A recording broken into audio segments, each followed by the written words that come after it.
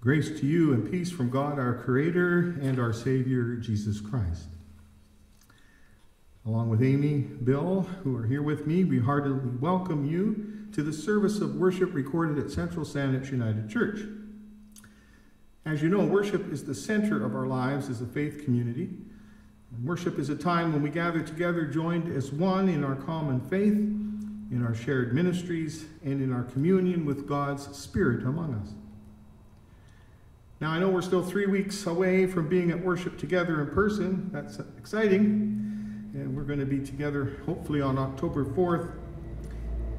But we are still together today, all the same in spirit, in our ongoing care for one another, and in our being the body of Christ in this place and in this time. And if you are a visitor participating in this online service, know that you too are most welcome and just as much a part of us because you are a beloved child of God as well, a sister or brother in the faith. I commend to all of you uh, your reading of the announcements sent out to you earlier this week. Just another word about our uh, gathering, which we're hoping will begin on October 4th. Uh, there will be, um, uh, you will receive further news in the next couple of weeks of how that's going to play out in terms of making sure that we're safe and we're thinking probably of two services, hopefully both on Sunday. So stay tuned. Uh, and now, as is our custom, we acknowledge that the traditional territory in which we gather for worship is that of the Coast Salish First Nations.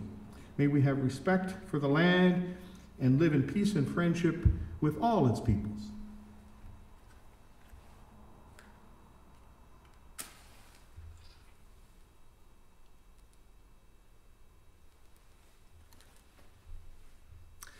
May this spark of divine energy be a beacon of hope to all.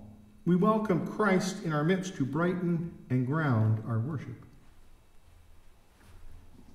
Our opening hymn today is at Voices United 326.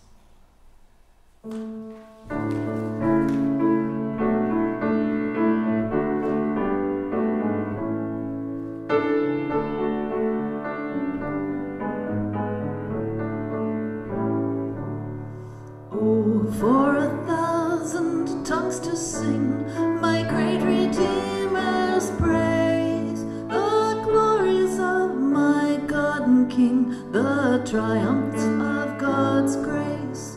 Jesus, the name that charms our fears, that bids our sorrows cease. Tis music in the sinner's ears, tis life and health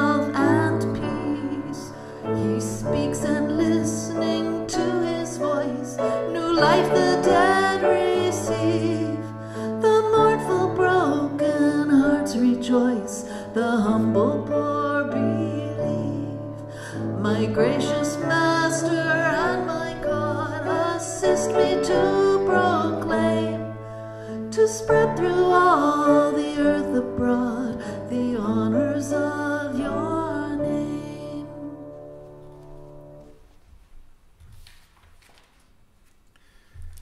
We come to worship this day, some with joyful hearts and some with hurting souls. Christ is here, ready to celebrate, ready to heal. We come to worship this day, some of us tired, some of us full of energy. Christ is here, giving us strength, giving us purpose. We come to worship this day, some righteous, some repentant. Christ is here, full of grace, full of forgiveness. We come to worship this day, some of us full of questions, some of us sure in our faith. Christ is here, present in doubt, present in assurance. We come to worship this day, seeking divine presence. We proclaim that Christ is here. Let us pray. Fit us, O God, for this new day. Through your Spirit, grant us courage so that today's uncertainties may not overwhelm us. Through your Christ, fill us with love so that differences may not divide us. Through your creative energy, make us new so that the past may not enslave us. Spirit, Christ, Creator, lead us into newness of life. Be with us in this time of worship and send us forth into the future with hope and courage. Amen. And again from Voices United at 581.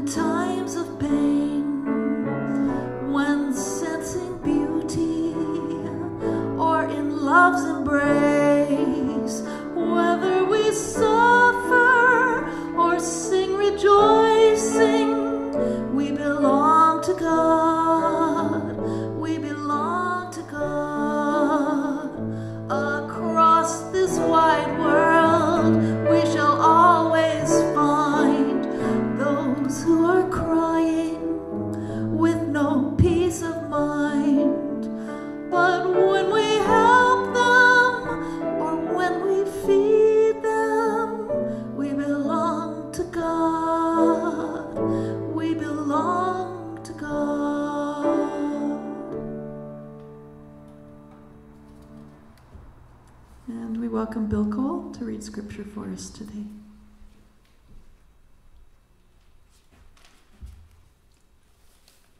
Let us pray. Gracious God, open our hearts and minds by the power of your Holy Spirit, that as the scripture is read and your word is proclaimed, we may hear what you are saying to us today. Amen. The gospel reading features a parable of Jesus that considers one of the fundamental characteristics of the Christian faith, that of forgiveness. Reading from the Gospel according to Matthew chapter 18. Then Peter came to him and asked, Lord, how often should I forgive someone who sins against me? Seven times? No, Jesus replied, seventy times seven. For this reason, the kingdom of heaven can be compared to a king who decided to bring his accounts up to date with servants who had borrowed money from him. In the process, one of his debtors was brought in who owed him millions of dollars. He couldn't pay. So the king ordered that he, his spouse, his children, everything he had be sold to pay the debt. But the man fell down before the king and begged him, Oh, sir, be patient with me, and I will pay it all. And the king was filled with pity for him, and he released him and forgave his debt. But when the man left the king, he went to a fellow servant who owed him a few thousand dollars. He grabbed him by the throat and demanded instant payment. His fellow servant fell down before him and begged for a little more time. Be patient, and I will pay it, he pleaded. But his creditor wouldn't wait. He had the man arrested and jailed until the debt could be paid in full. When some of the other servants saw this, they were very upset. They went to the king and told him what had happened. Then the king called in the man he had forgiven and said, You evil servant, I forgave you for that tremendous debt because you pleaded with me. Shouldn't you have mercy on your fellow servant just as I had mercy on you? And the angry king sent the man to prison until he had paid every penny. That's what God will do to you if you refuse to forgive your brothers and sisters in your heart. May God bless our understanding of this reading from the Holy Scriptures. And from the world around us, some short quotes on forgiveness. Forgiveness has nothing to do with absolving a criminal of his crime. It has everything to do with relieving oneself of the burden of being a victim, letting go of the pain, Transforming Oneself from Victim to Survivor by C.R. Strong. When you hold resentment toward another, you are bound to that person or condition by an emotional link that is stronger than steel. Forgiveness is the only way to dissolve that link and get free, by Catherine Ponder. Forgiving does not erase the bitter past. A healed memory is not a deleted memory. Instead, forgiving what we cannot forget creates a new way to remember. We change the memory of our past into a hope for our future by Lewis B. Smedes. Forgiveness is the fragrance that the violet sheds on the heel that has crushed it by Mark Twain. Forgiveness is not an occasional act, it is a constant attitude by Martin Luther King, Jr.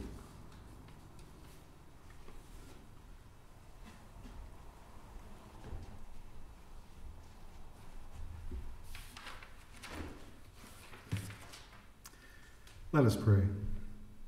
May the words of my mouth and the meditations of our hearts be acceptable to you, O God, our strength and our Redeemer. Amen. Renowned scholar Huston Smith gave lectures in which he talked about the religions of the world. He would cite one or two aspects of each religion that made it unique. He noted that in Islam, the faith penetrated all aspects of life. In Hinduism, Smith admired the largeness and complexity of the faith, the way in which it attempts to embrace all of reality. In Buddhism, he noted the depth of its spirituality and the desire to be in complete harmony with creation and therefore with the Creator. In Christianity, Smith chose forgiveness. Forgiveness, he says, is Christianity's unusual claim. Jesus dies forgiving those who killed him. Forgiveness is what Jesus demanded of his followers. In the gospel stories, Jesus is constantly depicted as saying, Your sins are forgiven. Our gospel reading today is about forgiveness. Now, personally speaking, I find this passage to be a, a challenging one. I find what it has to say both appealing and at the same time disconcerting. I mean, are we really always supposed to be forgiving? Aren't there situations where forgiveness is nigh impossible? What about those things people do that are just so heinous that to forgive seems just downright wrong, unjust? And what does Jesus mean when he says we are to forgive 70 times 7? Perhaps you would agree with me that saying those words, I forgive you, can sometimes be among the most difficult words that we can say. And I don't mean the occasional, uh, the occasional moment of warm-hearted forgiveness, overlooking someone's minor slight when we're feeling magnanimous. Nor do I mean the spontaneous forgiveness we feel when someone is genuinely contrite over some accidental and again usually minor fault. What I mean are those things that are really, really hurtful. Those times when the person seems disinclined to take responsibility, let alone apologize. Those episodes that continue to wound each time we remember them. Those words or deeds that have marked us deeply and painfully and feel like they'll never go away. Those are the things that are so incredibly hard to forgive. For instance, think of someone who has been the victim of domestic violence. His or her partner has made life miserable, betrayed their marriage vows with violent acts. Is the spouse subjected to such abuse expected to forgive, as the saying goes, forgive and forget? Think for a moment of the worst thing that someone has ever done to you. Now picture yourself extending the hand of forgiveness, saying the words, I forgive you. The fact is, forgiveness may be the toughest act we Christians are asked to do. So it is that this passage of Scripture in Matthew may be so very problematic for many of us. So let's consider it more closely. Peter asked Jesus how many times he should forgive someone and then wonders aloud if forgiving seven times would be an adequate limit. Peter thinks he's being generous, like super generous, when he wonders if he should forgive up to seven times. The religious custom of the day, after all, was to forgive up to three times. And then punishment would befall the individual were he or she to sin a fourth time. Peter not only doubles this traditional number, but he adds one to it, perhaps knowing that seven is considered the perfect number and the number associated with God. Good old Peter, always going that extra mile to please Jesus. In response to the seemingly logical question, Jesus throws out an answer variously translated as 77 or 70 times 7. Like so many of us who follow Jesus, Peter just wants to know what he's supposed to do. That, Jesus points out, is not the question he should be asking. And to illustrate the point, Jesus tells a parable. In the parable, the king is owed 10,000 talents. In our translation today, millions of dollars. It sounds like a lot, doesn't it? In fact, it's an impossibly, astronomically absurd lot. A single talent was the equivalent of 15 years' worth of wages in first century Palestine. The amount this servant owes is the equivalent of 150,000 years' worth of income. The folks first hearing this parable would have burst out laughing at such a comically high amount. And of course, the servant can't possibly pay it. And the servant begs the king to forgive the debt, and in fact, the king does. But then the same servant runs into someone who owes him the equivalent of a few months' wages. Compared to what he owed the king, the amount was minuscule. And when the king hears that the first servant refused to forgive the second servant, the forgiving king was outraged and consequently reneges on his offer of forgiveness. And because the servant does not show mercy as he did, the servant is now sent away to be punished. To Peter and other folks who think that faith is about doing what we are supposed to do, Jesus offers another reality.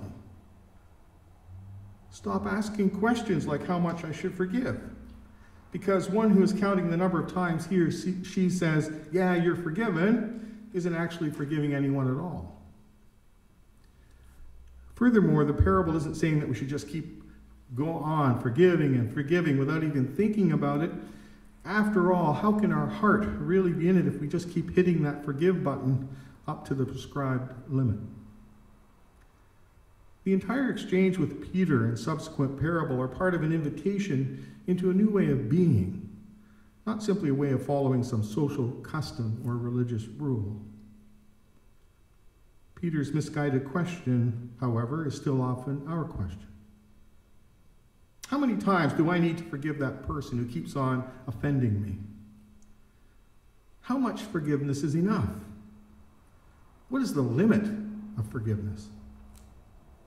Yes, Peter's question is still our question. But I think that deep down we know the answer to that question. For forgiveness is the hallmark of what it is to live as followers of the one who is all forgiving. Jesus is saying that we are to aim at forgiving often and completely, as often and completely as it takes. Oh, yes, I have heard or even voiced myself arguments against this idea. For I know there are those who are unrepentant, who perpetually offend and take no responsibility for their hurtful words or hurtful actions. And I have certainly heard the wrenching stories of those whose abusers held this requirement to forgive over their heads. And even well meaning people, including Christian clergy, have upheld and interpreted these words of Jesus in such a perverse way as to ensure victims remain victims.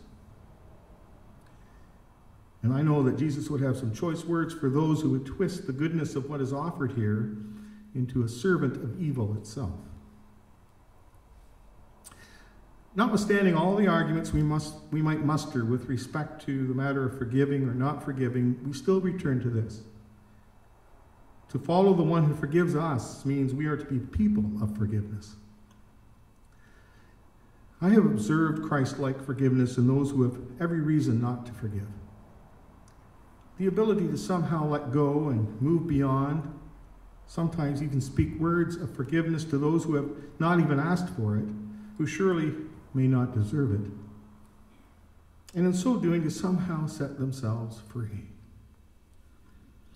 Presbyterian minister and author Marjorie Thompson writes, quote, To forgive is to make a conscious choice to release the person who has wounded us from the sentence of our judgment however justified that judgment may be. It represents a choice to leave behind our resentment and desire for retribution, however fair such punishment may seem.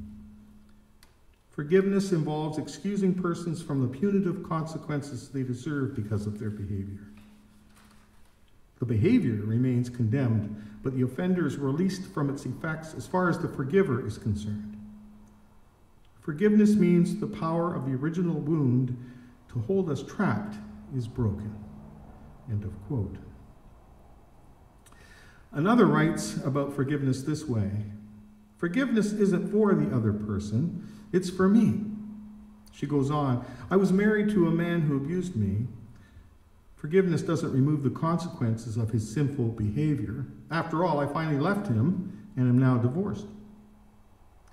She continues In 1981, Pope John Paul II was shot. And Pope John forgave the shooter, but the shooter still went to prison.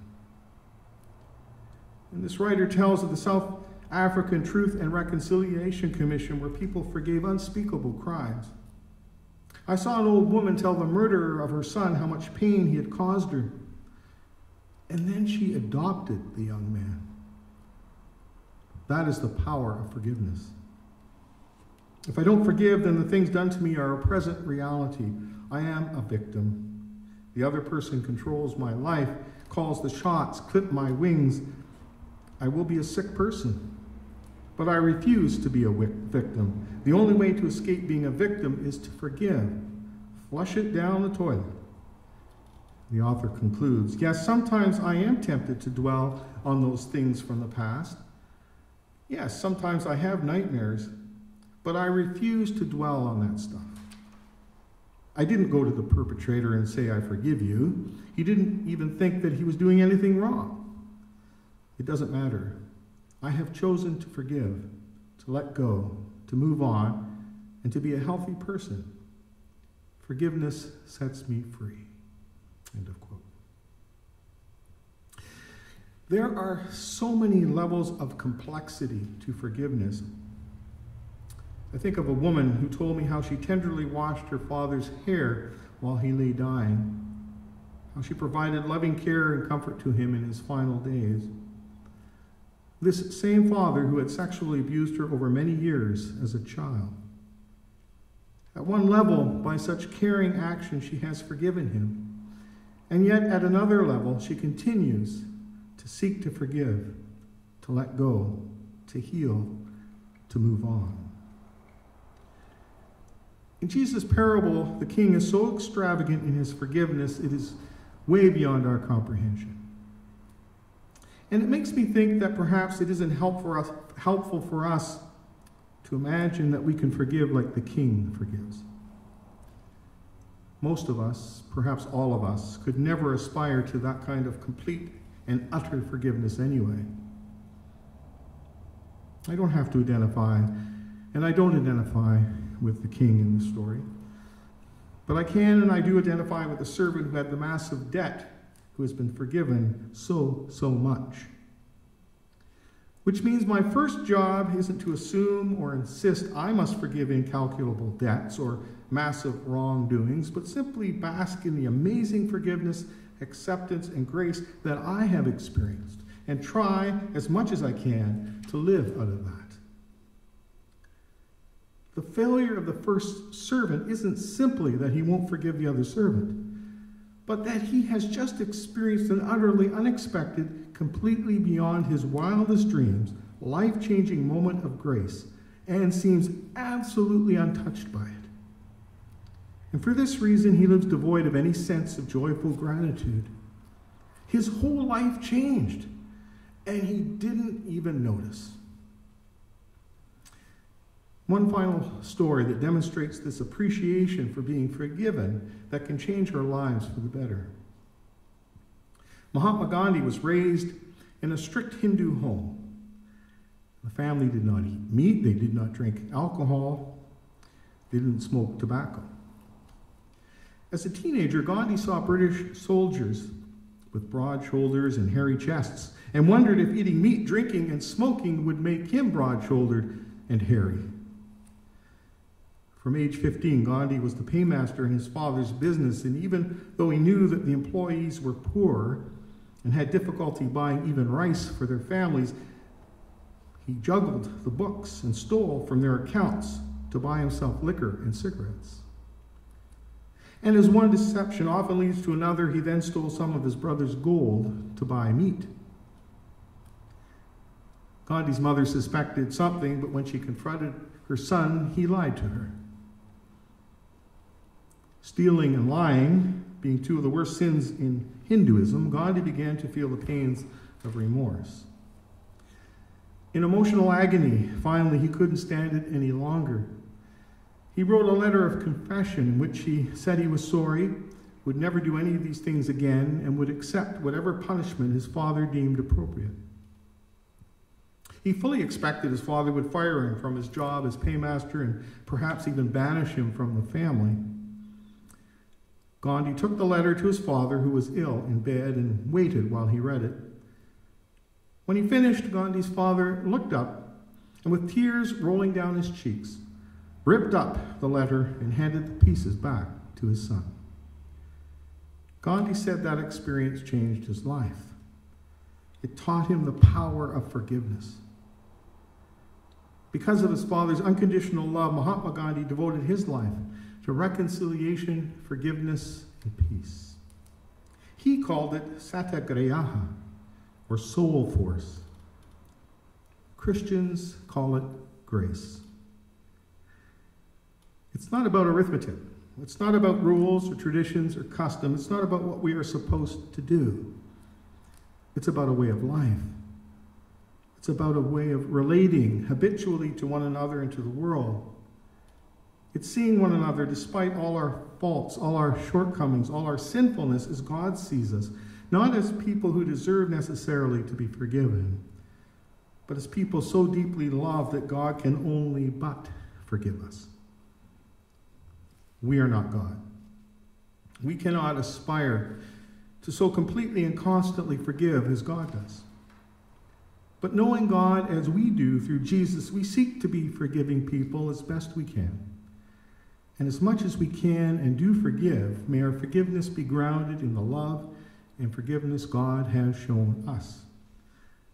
Thanks and praise be to God.